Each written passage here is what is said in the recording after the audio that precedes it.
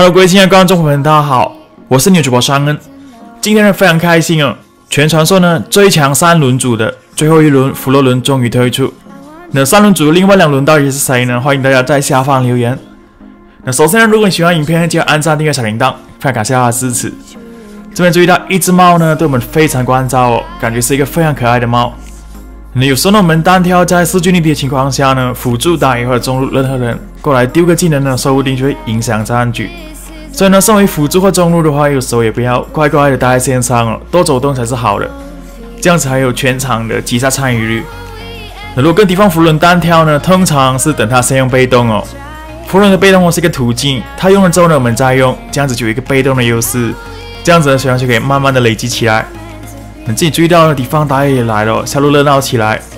但是呢，敌方打野是还没上四等的。那我们现在找这打野麻烦，我们的奎伦呢也马上赶到。OK，上轮合璧终于把他击杀，这里我们也拿到手上呢，挺不错的。而这时候呢，敌方佛伦就会压力很大，毕竟要血量这么少呢，我们还有三个人包围，他要撤退也不是，回城也不是。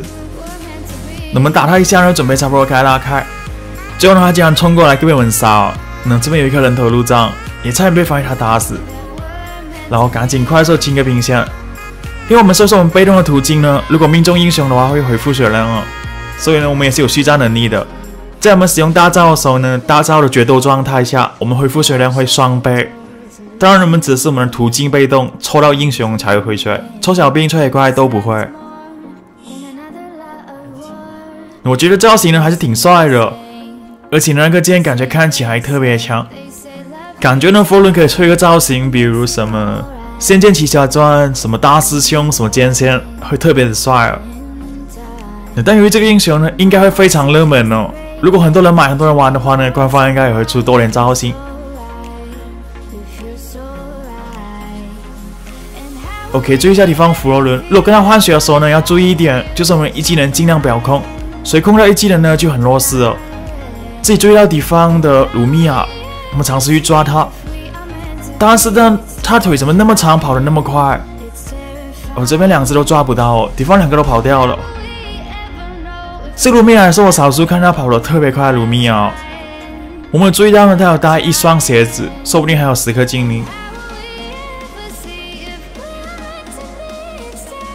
那卢米亚这个英雄呢，有时候确实没那么容易杀，毕竟他二技能会把我们弹走。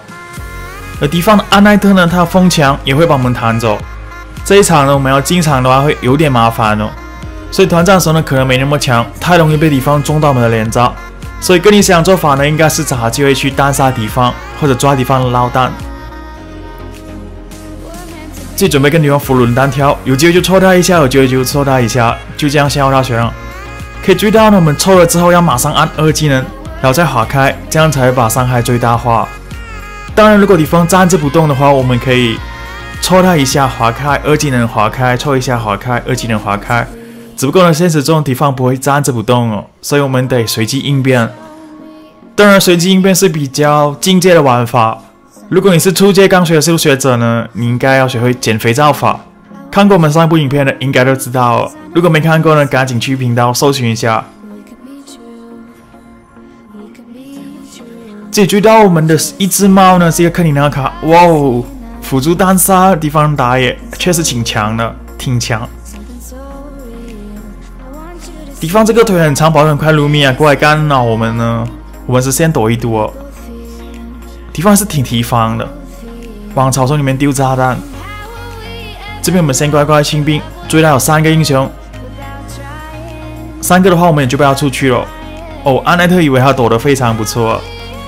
早就去抓敌方弗洛伦，先用大招决斗状态，决斗状态呢，安妮亚就控不住我们。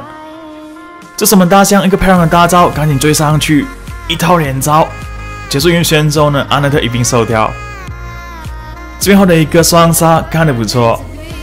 哦，哦，这个卢米亚大招呢，挺阴险的，没关系，我们带回家去复仇。可是呢，这卢米亚玩法它非常的贵哦，感觉是一直看小地图。这也是一个非常合格的卢米亚。大家呢，如果想要玩卢米亚，记得学他，非常的谨慎。像他呢，不会随便走，一直躲着呢，我们也不好杀。这样子也不要勉强去抓他。弗洛伦呢，他有点算中距离，有个途径，可是我们一技能呢，其实并没有那么长，常常会差一点点够不到，所以呢，记得要多踏前一步。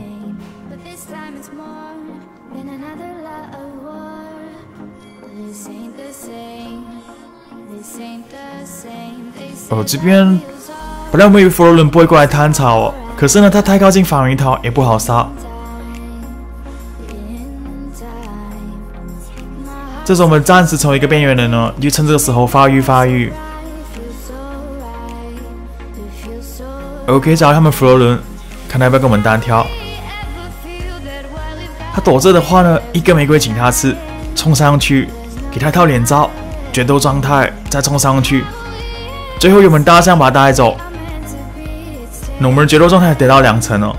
如果敌方被我们套上决斗呢，再死掉的话，我们增加攻击力。到最后伤害会高到不行。以这套装备核心来说呢，应该是炎魔跟冰袍。炎魔让我们连着人单挑很强，而冰袍呢可以缓速，让我们更加连能。如果你完全攻击流的弗洛伦玩的有点难呢，可以试试看这一套，相当好用。这边我先过去支援一下队友哦。过来打地方，安奈特一整套连招，就安奈特被这个野怪救了，绑住我们。但我们队友赶到呢，还是把他带走了。因为这地方弗洛伦。自己赶紧撤退！你跟我们有点大惊小怪哦，本来以为敌方会一群人过来，结果就一个弗洛伦。我们也趁这时候呢发育一下。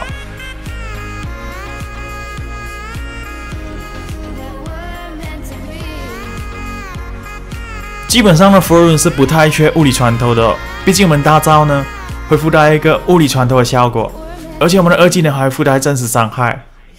可是那是百分比的伤害，所以呢，戳坦克也特别痛，戳脆皮英雄呢也不妨是一个额外的伤害来源。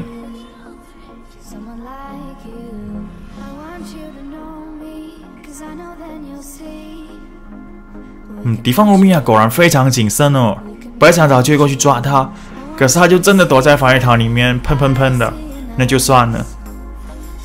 这时候基本上呢，敌方弗洛伦是打不赢我们的，他的第一件装备是升剑出暴击剑。OK，找到个蓝，虽然我们不耗魔呢，但把它偷掉也没关系，有冷却时间。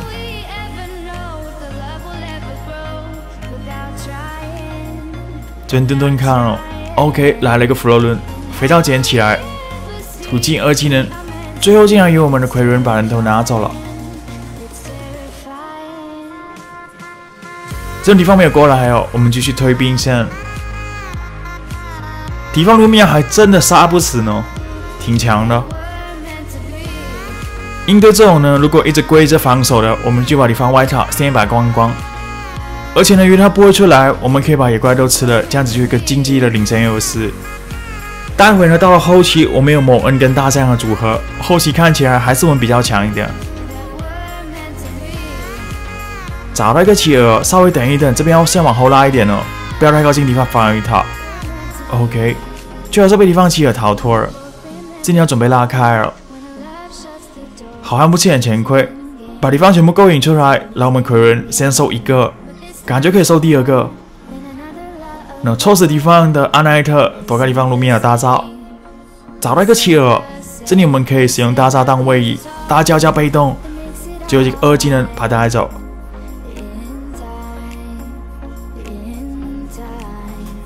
OK，把附近野怪吃一吃，吸点血。然后还有一个飞龙。以续战力来说呢，大家可以考虑带一个五个夺萃哦，可能出五个自杀，五个夺吹，或者五个 B U，五个夺吹。毕竟我们很常靠物理攻击来普攻来输出，感觉吸血还挺不错的。当然，我们被动只要插到敌方英雄，也会回血就是了。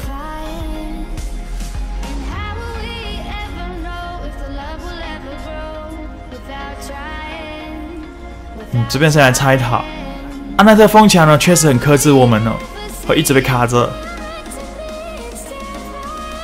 这注意到我们的摩恩在偷偷间谍计划，我他还差点把这个主堡拆掉了呢。主堡剩下大概三成的血，待会我们再帮他完成这个大计。这里我看我们队友可以把这卡莎一并吃掉哦，并只剩下一个下路，我们队友挂了两个，等他们复活。这里会遇到很多人呢，我们感觉准备要撤退。OK，大家在这边看视野。哦，卢米亚大招有点烦，看能不能抓到任何人。嗯，看企鹅想干嘛？接下来会等等时间进场。安奈特开了个风墙挡住我们，确实有点难抓哦。有安奈特在，我看安奈特呢应该是最克制弗伦的英雄之一。